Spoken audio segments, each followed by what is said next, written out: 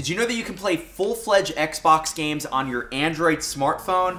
I'll show you how. There are a few companies taking a stab at cloud gaming, which I think could very well be the future of gaming. Namely Google with Stadia, and Nvidia with GeForce Now, and recently Amazon announced Project Luna. And of course, Microsoft has Xbox Cloud Gaming, which is what this video is about.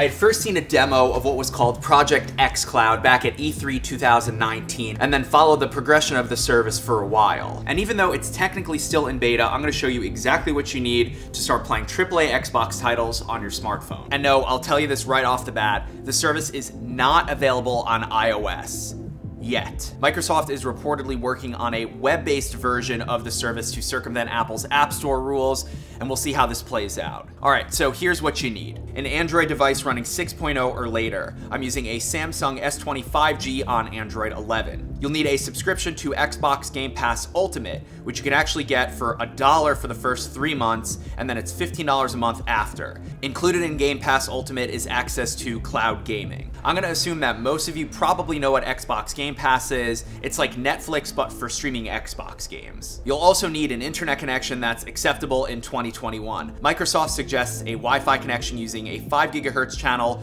or mobile data with at least 10 megabits per second down. My Wi-Fi here in the studio is gigabit and this S25G is on 5G. And lastly, you'll need a controller. I'm using an Xbox One controller, but oddly enough, you can use a DualShock 4 controller as well as a handful of third-party ones. Before we jump into the Xbox Game Pass app itself and play some games, we have a message from today's video sponsor, OtterBox. OtterBox, you know, the company known for its super durable and reliable phone cases, just introduced a handful of mobile gaming accessories designed for Xbox. Included in this lineup is just about everything you need to take your setup to the next level.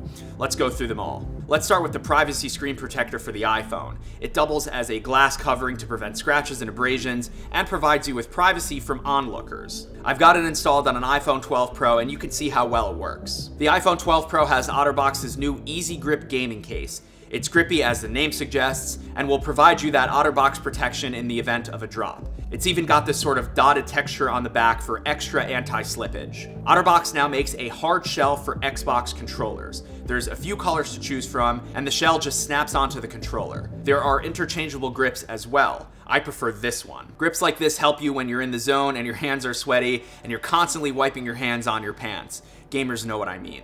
Up next is a carrying case for your Xbox controller. The case has a hard shell, an opening around the back to slip a cable through for charging. These little pockets for things like your cables, as well as a makeshift collapsible phone stand, meaning you can prop up the phone on top of the case and game like so. I sort of saved the best for last, the mobile gaming clip. I've actually been looking for something like this for a while, and OtterBox thought of everything. The clip snaps onto the controller easily, and it's firmly on there. Your phone goes in the spring-loaded holster, and you can adjust the viewing angle to your liking. There's a plastic latch on the back to adjust the phone even further, and the clip can actually be removed from the holster and placed on a desk in what I call desk mode. All of these accessories can be pre-ordered starting January 25th and will ship in February. Check the link in the description to learn more and thanks to OtterBox for sponsoring today's video and sending over this gear for me to show you.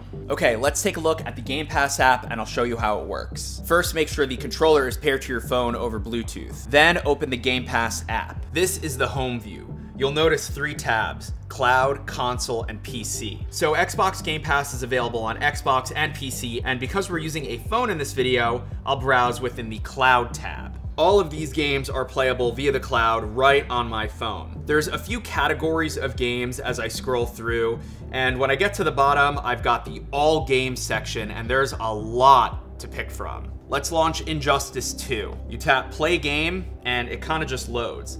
I'll say this though, it doesn't load instantaneously. You're presented with this rocket loading screen, and notice they put the word beta front and center, reminding you that this product is not yet finished. This took about 20 seconds to load, and then you get this data sync screen, but once it loads, it is the full game. I'm playing the full Injustice 2 right on this phone, streaming from the cloud.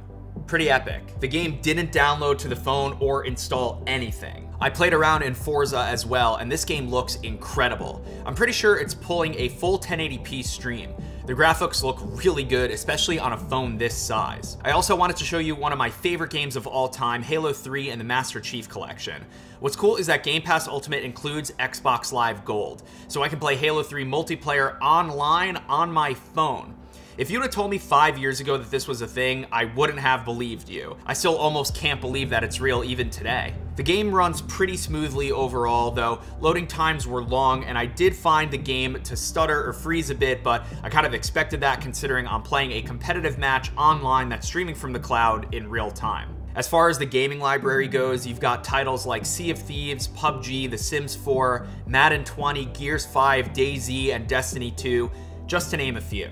I think this trend of cloud gaming is just the beginning. As our phones get better and faster and internet speeds increase in bandwidth, it kind of just makes sense that gaming is heading in this direction. Like, you don't expect to sit there and wait for whatever movie or TV show you're watching on Netflix to download to your device, right? You just click play and it streams. And I think that logic should and is already being applied to gaming. For now, Xbox Cloud Gaming is still in beta and we'll have to see what happens on iOS. I think it's an awesome first look at what the future of gaming could look like like, and it has me excited. Personally though, I'm sticking to gaming on my main gear with my mouse and keyboard. Thank you for watching, and I'll catch you in the next video.